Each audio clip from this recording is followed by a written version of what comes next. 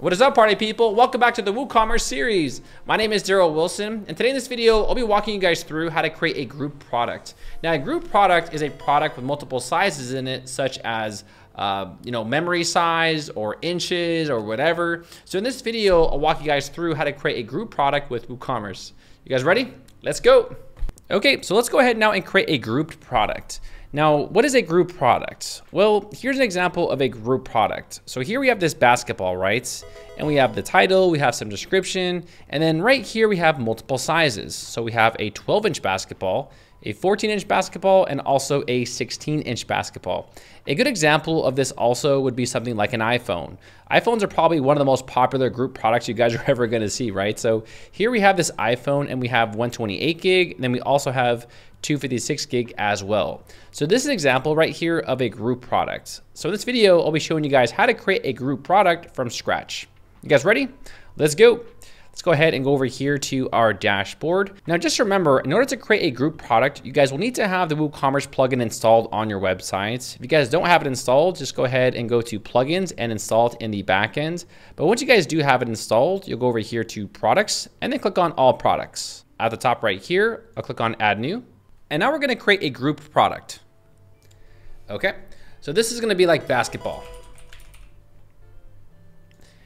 Now for product description, I'm just going to go over here to ChatGPT and ask them to create some product description for a basketball. Okay, so I'll go ahead and use these technical details right here and I'll paste that over here. Okay. Now below that, we have product data. I'm gonna select group product okay? Now, group products, I'll be honest, guys, they're a little weird. The way you make them is a little awkward, so we'll, we'll touch base on it as we go. Product short description, I'll go ahead and put in some key features here, right? Okay. And I'll paste it in right there. Wait, paste it, right? Okay.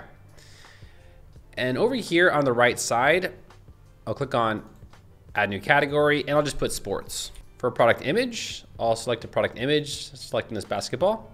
And that is pretty much it. So I'll go ahead now and click on publish. All right. Now we have this product, right? So over here, I'll click on all products. So here we have this basketball, right? But people can't purchase it. We now need to create products and put it inside of this parent product. So over here, let's click on add new. This will be something like a 14 inch basketball. You guys can go ahead and add in product description about this 14 inch basketball, but I'm just going to enter in the demo content for now. Okay. Simple products. I'll go ahead and put something like 50 bucks. Now you guys don't really need to enter the description if you guys don't want to, but it's strictly optional. And I'll go ahead and add in the product image of just the basketball, right? And before we actually publish this, we need to do something. Over here under catalog visibility, I wanna make sure that this is hidden. Okay, so make sure that you guys do hide this. Okay, so you do not want this to appear on your shop. I'll click on okay, and then I'll click on publish. Okay, now we're gonna create the 16 inch. So over here, add new, 16 inch basketball, and I'll do the very same thing. Just go ahead and paste in some description. And then we'll do the very same thing. I'll just paste in some description, right? This will be $60, right? It's a little bit more expensive. Put some more description, right? And same thing, product image. I'll put the basketball. And then we're also gonna hide this as well. Okay. And then I'll click on publish. Now we're gonna make one more. All right, so now we have like the 20 inch. And I will also throw in some description here, right? This will be $100. You know, it's pretty expensive basketball, right? Okay.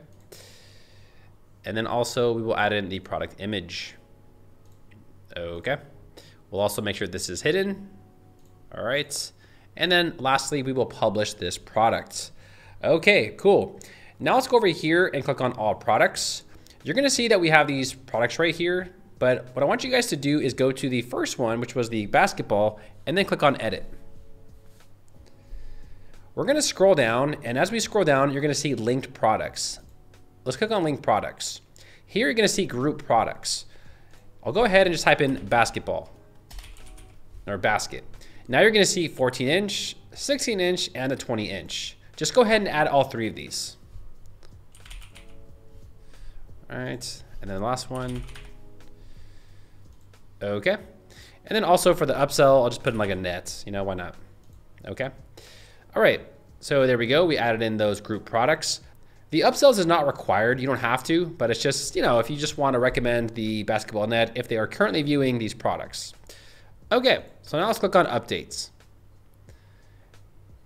Now that we've done that, now let's go ahead and view the product. Here we go. We have this basketball. We have our key features. And over here, you'll see we have 14 inch, 16, and then also 20. And you just can go ahead and add all these to the cart right here by clicking on add to cart. All right. So that is a group product. I know it might be a little weird and awkward to create, but that's just how it's done, right?